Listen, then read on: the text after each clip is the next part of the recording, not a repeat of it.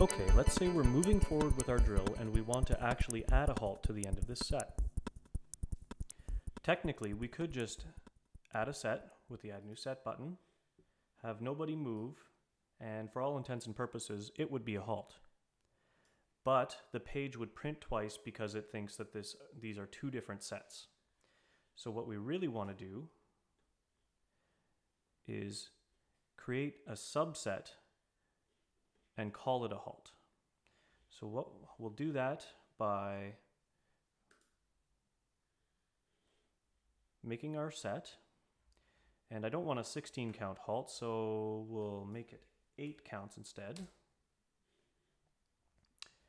And then we're going to go to drill menu at the top scroll down to convert to subset.